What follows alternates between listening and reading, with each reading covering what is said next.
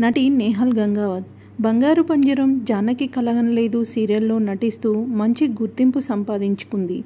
అయితే ఈ జూన్ ఇరవై ఏడున నేహల్ బర్త్డే సందర్భంగా జానకి కలగనలేదు సీరియల్ టీం అంతా కలిసి నేహల్తో కేక్ కట్ చేపించి బర్త్డేని షూటింగ్ లొకేషన్లో సెలబ్రేట్ చేశారు. ఆ సెలబ్రేషన్కి సంబంధించిన ఫొటోస్ అండ్ వీడియోస్ని సోషల్ మీడియా ద్వారా షేర్ చేసుకున్నారు.